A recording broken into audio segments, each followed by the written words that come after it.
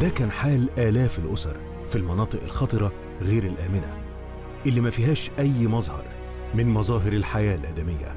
الأطفال دول ولادنا من حقهم يعيشوا حياة أفضل في مكان يشوفوا فيه مستقبلهم ويحلموا ويحققوا أحلامهم.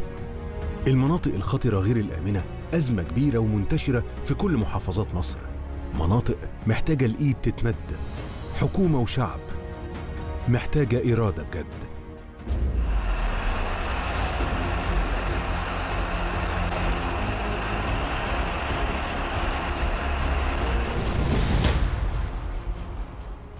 العشوائيات اللي بنحلها دي حلم أنا حلمته من 30 40 سنة. قلت لا يمكن يبقى في ناس تبقى مرمية في الشوارع كده. ونسكت.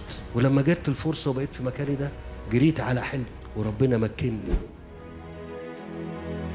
فجر جديد بتشرق شمسه على كل مصر. وأمل جديد بنرسمه للأجيال اللي جاية عشان يعيشوا حياة أجمل وأحلى. مشاريع الإسكان بتغير حياة ملايين المصريين. وبيتوفر فيه كل احتياجاتهم عشان يعيشوا حياة كلها أمل. 30 يوم. حلم بيتحقق.